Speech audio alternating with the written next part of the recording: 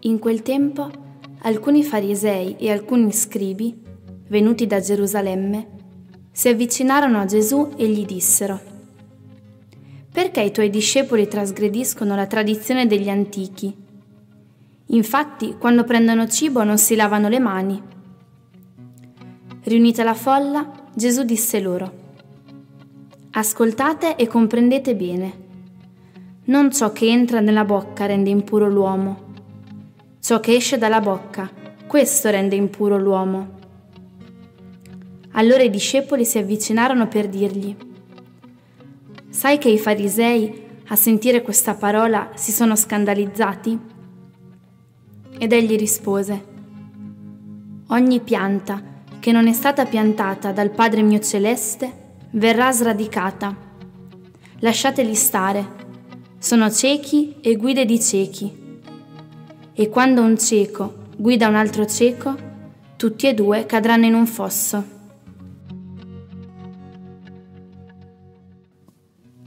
La questione della purità rituale è sempre stata una patata bollente per i maestri della religione.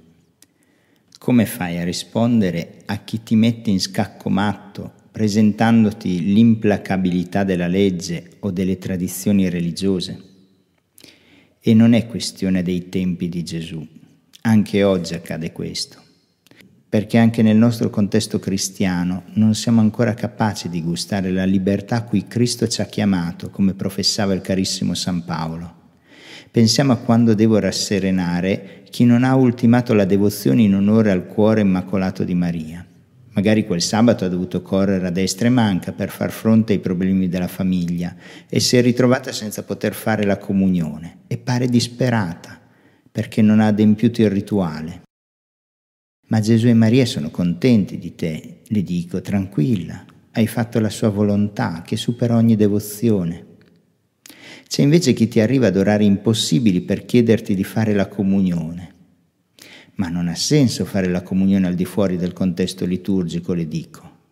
Mi risponde, la Madonna vuole così. E vabbè, siamo ancora figli della legge e forse questo Vangelo deve scuoterci un po'. Non è con l'adempiere rituali che purifichiamo il nostro cuore, dice Gesù ai farisei. Il cuore guarisce solo quando ci abbandoniamo docilmente alla sua volontà.